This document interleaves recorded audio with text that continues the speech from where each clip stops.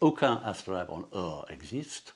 Et en argent, il existe celui-ci, un autre astrolabe qui est moitié argent et moitié laiton, et un troisième qui est indien et bien plus tardif. C'est-à-dire, c'est extrêmement rare pour sa matériel.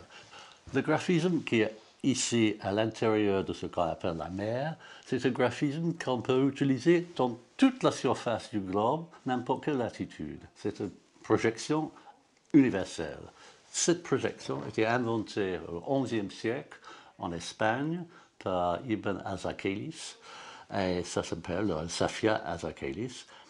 Mais ce qui est exceptionnel avec cet instrument, c'est c'est combiné avec un astrolabe classique au tampon et combiné avec une projection universelle qui est tout à fait insolite. Avec ça, on pouvait l'utiliser partout.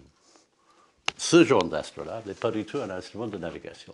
C'est un, instrument pour, de calcul, c'est un instrument utilisé par les astronomes, c'est un instrument de haut prestige parce que compliqué à fabriquer, un instrument donc, qui implique qu'un mathématicien travaille avec un graveur et un fondeur.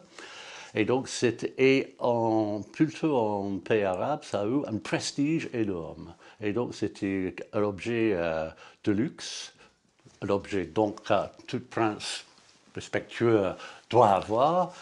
Et euh, même s'il ne pas, c'est un peu comme le Patek Philippe autre complication d'aujourd'hui.